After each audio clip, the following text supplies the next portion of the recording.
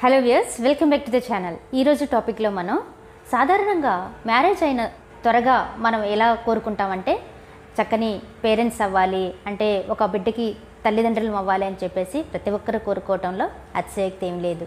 కానీ కొన్ని సమస్యల వల్ల కొన్ని lack of knowledge lack of awareness వల్ల వాళ్ళ యొక్క ప్రాపర్ యొక్క ఎగ్జామినేషన్ చేసుకోకపోవటం వలన పిల్లలు కలగపోవటం గమనిస్తూ ఉన్నాము. చాలామంది పిల్లలు పుట్టడం లేదు. మ్యారేజ్ అయినా కూడా టూ త్రీ ఇయర్స్ అయినా కూడా మాకు ఎందుకు పిల్లలు కలగటం లేదు అని చెప్పేసి చాలామంది కమెంట్ సెక్షన్లో అడగటం జరిగింది. వాళ్ళందరికీ కోసం కూడా ఎందుకు పిల్లలు పుట్టకపోవడానికి ముఖ్య కారణాలు ఏంటో ఈ వీడియోలో మనం చూసేద్దాం.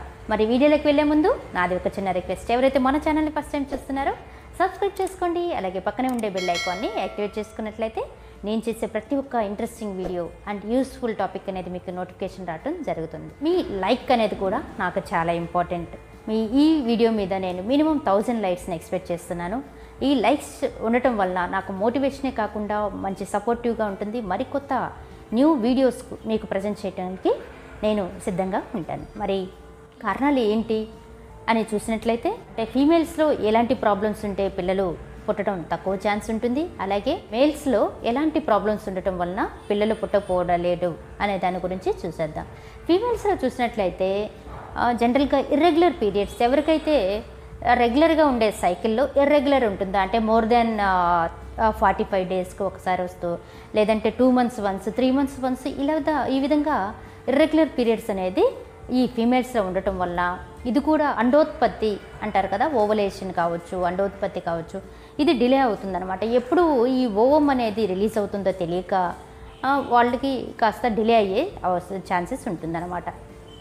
నెక్స్ట్ చూసినట్లయితే బ్లీడింగ్ డిజార్డర్స్. అంటే ఎప్పుడు చూసిన ఎవ్రీ ఫిఫ్టీన్ డేస్కి వన్స్ లేదంటే every twenty days once bleeding అనేది కంటిన్యూస్గా అవుతూ ఉంటుంది. అది కూడా ఫ్లో అనేది ఎక్కువగా సివియర్గా కనిపిస్తూ ఉంటుంది స్త్రీలలో. ఇలాంటి ఆడవాళ్ళలో కూడా కాస్త ఈ పిల్లలు పుట్టే అవకాశాలు తక్కువగా ఉంటాయి. నెక్స్ట్ వచ్చేసి యూట్రస్లో ప్రాబ్లమ్స్ అంటే గర్భాశయంలో ఏదైనా మూసుకుపోయినా కూడా లేదంటే గర్భసంచి చిన్నదిగా ఉన్నా సర్విక్స్ అనేది ఆ ద్వారం అనేది సన్నగా ఉన్నా కూడా ఈ యూట్రస్ ప్రాబ్లం ఏవైనా కూడా యూట్ర ఎంటైర్ యూట్రస్ అది ఫెలోపియన్ ట్యూబ్స్ కావచ్చు యూ సర్విక్స్ కావచ్చు యూట్రస్ కావచ్చు ఫింబ్రియా ఓవరీస్లో ప్రాబ్లం కావచ్చు ఏదైనా ఎంటైర్ యూట్రస్లో ఏదైనా ప్రాబ్లం ఉన్నా కూడా పిల్లలు పుట్టేదానికి అవకాశాలు తక్కువగా ఉంటాయి. ఇది ఫీమేల్స్లో మేల్స్లో చూసినట్లయితే కౌంట్ తక్కువగా ఉండటం అలాగే ఆ యొక్క క్వాలిటీ లేకపోవటం కౌంట్ ఉన్నప్పటికీ ఆ యొక్క క్వాలిటీ అనేది తక్కువగా ఉండటం. మొటైల్ అంటే కదలికలు అంటే స్పోమ్కి ఆల్రెడీ మనం కొన్ని వీడియోస్లో డిస్కస్ చేసి ఉన్నాము. స్పోమ్కి ఎప్పట్లాగే హెడ్ టైల్ నెక్ ఇవన్నీ ఉంటాయన్నమాట. కానీ ఎవరికైతే ఈ విధంగా మొటైల్ తక్కువగా మొటిలిటీ తక్కువగా ఉన్న షేప్ లేకుండా అంటే టైల్ కట్ అవ్వటము నెక్ ప్రాపర్గా లేకపోవటము హెడ్ లేకపోవటము ఈ స్పోమ్కి ఇలా ఉండే వాళ్ళకి కూడా ఎక్కువగా ఈ ప్రెగ్నెన్సీ వచ్చేదానికి తక్కువ ఛాన్సెస్ అనేది ఉంటుందన్నమాట. ఇవి అమ్మాయిలు అబ్బాయిల్లో కనిపించే లక్షణాలు. ఈ కారణాలు ఎవరికైతే ఉన్నాయో కాస్త పిల్లలు పుట్టేదానికి సమయం అనేది పడుతుంది. జనరల్గా చూసినట్లే గర్భాశయం చూసినట్లయితే సర్విక్స్ అనేది ఓపెనింగ్ ఉంటుందన్నమాట. ఆ ఓపెనింగ్ నుంచి ఇక్కడ వచ్చేసి రెండు ఫెలోపిన్ ట్యూబ్స్ రెండు ఓవరీస్ ఈ విధంగా స్ట్రక్చరల్ యూటర్ ఎంటైర్ రీప్రొడక్టివ్ సిస్టమ్ ఆఫ్ ఫీమేల్స్లో చూసినట్లయితే uterus cervix two fallopian tubes and two ovaries ఉంటాయి అనమాట ఎవ్రీ మంత్ సైకిల్లో అంటే జనరల్గా థర్టీన్ టు ఫిఫ్టీన్ ఇయర్స్లో మెనార్క స్టార్ట్ అవుతుంది. అంటే మెచ్యురేషన్స్ ఎవరైతే మెచ్యూర్ అవుతారు అని చెప్తారు కదా అది థర్టీన్ టు ఫిఫ్టీన్ ఇయర్స్ ఏజ్లో జరుగుతుంది. ఆ ఏజ్ నుంచి టిల్ సెసేషన్ ఆఫ్ మెన్స్ట్రువేషన్ అంటే మెనోపాస్ స్టేజ్ వరకు మన భారతీయులకు forty to forty five years ఆఫ్లో ఈ మెనోపాస్ అనేది జరుగుతుంది. అంటే సెసెట్ అవుతుందనమాట ఈ పీరియడ్స్ అనేది. థర్టీన్ ఇయర్స్లో స్టార్ట్ అయిన పీరియడ్స్ ఫార్టీ ఫైవ్లో సెసెట్ అవుతుంది. అంటే స్టాప్ అయిపోతుంది అనమాట దాన్ని మనం మెనోపాస్ అని చెప్పి చెప్పుకుంటాము. సో ఈ థర్టీన్ నుంచి ఫిఫ్టీన్ ఇయర్స్లో ఒక మెనార్కే స్టార్ట్ అయిన కాడ నుంచి ఎవ్రీ సైకిల్లో ఎవ్రీ మంత్ పీరియడ్స్లో ఎయిట్ టు ట్వెల్వ్ ఎగ్స్ అనేవి ఫాలికల్స్ రిలీజ్ అవుతూ ఉంటాయి వాటిల్లో కూడా ఒకటి లేదా రెండు ఎగ్స్ మాత్రమే డెవలప్ అయ్యి మెచ్యూర్ అయ్యి రిలీజ్ అవుతుందన్నమాట. అందుకే కొంతమందిలో ప్రెగ్నెన్సీ అప్పుడు రెండు ఓవమ్స్ అంటే ఎగ్స్ అనేవి రెండు రిలీజ్ అయ్యి క్వాలిటీగా వచ్చాయంటే ట్విన్ బేబీగా పుడుతూ ఉంటారు. అది కొంతమందిలో బట్ రేర్గా వచ్చేసి ఒక ఓవం మాత్రమే క్వాలిటీగా ఉత్పత్తి చేయటంలో ఈ ఫాలికల్స్ అనేవి మనకి సహాయపడుతూ ఉంటాయి అన్నమాట స్త్రీలలో. అంతేకాకుండా ఈ ఎఫ్ఎస్హెచ్ హార్మోన్ అని ఎల్హెచ్ హార్మోన్ అనే ఇవన్నీ కూడా బాడీలో రిలీజ్ అవుతూ ఉంటాయి కాబట్టి రీప్రొడక్టివ్ సిస్టంలో స్త్రీలలో ఎక్కువగా ప్రెగ్నెన్సీ వచ్చే అవకాశాలు ఎక్కువగా సపోర్ట్ చేస్తూ ఉంటుంది.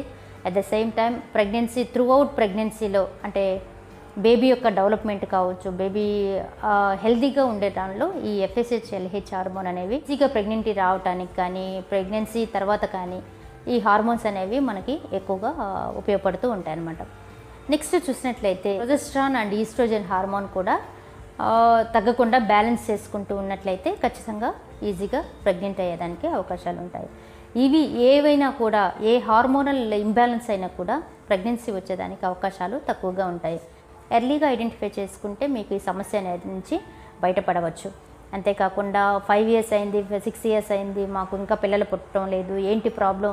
అంటే ఏంటి ప్రాబ్లం అనేది మనం ఐడెంటిఫై చేయలేము. త్రూ ఇన్వెస్టిగేషన్స్ ద్వారా మాత్రమే మనం డయాగ్నోస్ చేయడం జరుగుతుంది. ఇంకా చాలా మందిలో పీసీఓ సమస్యలు ఉన్నా అంటే ఈ ఫాలికల్స్ అనేవి ట్యూబ్స్లో ఏదైనా బ్లాక్ ఉన్నా కూడా ఎక్కువగా ఈ follicle eight to twelve follicles అనేవి రిలీజ్ అవుతాయి. ఇవన్నీ కూడా అలాగే ఇంపాక్ట్ అయిపోయి మనం స్కాన్ తీసినప్పుడు ఏ విధంగా ఉంటుందంటే కొన్ని నీరు బుడగల్లాగా అలా చేరిపోయి ఈ విధంగా సమస్య ఉండటం వల్ల కూడా ఆ పిల్లలు పుట్టే అవకాశాలు అనేవి చాలా తక్కువగా ఉంటాయి అన్నమాట అంతేకాకుండా ఎవరికైతే పిఐడి పెల్విక్ ఇన్ఫ్లమేటరీ డిసీజెస్తో ఎవరైతే బాధపడుతున్నారో at the same time endometriosis ఉన్నా అలాగే అడినోమయోసిస్ ఉన్నా యూట్రస్కి రిలేటెడ్గా ట్యూబెక్టమీ వాళ్ళకు కూడా పిల్లలు పుట్టే అవకాశాలు తక్కువ. ఎందుకంటే ట్యూబెక్టమీ అంటే అక్కడ ట్యూబ్స్ని లైగేట్ చేస్తారనమాట ట్యూబ్ లైగేట్ చేసి అక్కడ నాట్ లాగా వేస్తారు. అంటే స్టిచ్ లాగా వేస్తారు.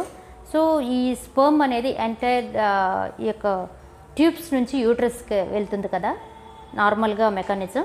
సో ఈ ట్యూబ్స్ని ఒకసారి లైగేట్ చేసినప్పుడు ఏమవుతుందంటే నెక్స్ట్ ఆ స్పర్మ్ అనేది గర్భాశయం గర్భాశయంలోకి ప్రవేశం లేకుండా స్టాప్ చేస్తుంది. సో ఈ విధంగా ఉండే వాళ్ళకి కూడా పిల్లలు పుట్టే అవకాశాలు తక్కువగా ఉంటాయి. అట్ ద సేమ్ టైం ఇది క్రానిక్గా ఏమవుతుందంటే ట్యూబ్స్ క్రమేపీ బ్లాక్ అయ్యేదానికి కూడా అవకాశాలు ఎక్కువగా ఉంటాయన్నమాట.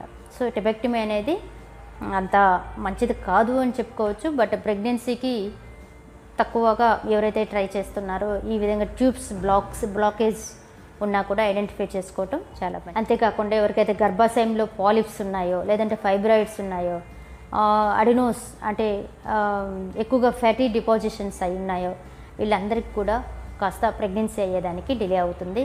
సో ఈ కండిషన్స్ ఏ ప్రాబ్లం అయితే మీకు ఐడెంటిఫికేషన్ ఉందో వాటన్నిటిని కూడా రూల్ అవుట్ చేయాలి అంటే ఖచ్చితంగా గైనకాలజిస్ట్ని సంప్రదించి తగిన ఇన్వెస్టిగేషన్స్ను ఫాలో చేసుకొని ట్రీట్మెంట్ ఫాలో చేసుకున్నట్లయితే ఖచ్చితంగా మీకు పిల్లలు పుట్టడం కరెక్ట్. కాబట్టి మీకు ఈ వీడియో కానీ నచ్చినట్లయితే లైక్ చేయండి షేర్ చేయండి సబ్స్క్రైబ్ చేయడం మాత్రం మర్చిపోకండి. అట్ ద సేమ్ టైం ఈ వీడియో మీద మీకు ఏదైనా క్వరీస్ డౌట్స్ ఉన్నా కమెంట్ సెక్షన్లో తెలియచేయండి. Thank you thank you friends thank you for watching this video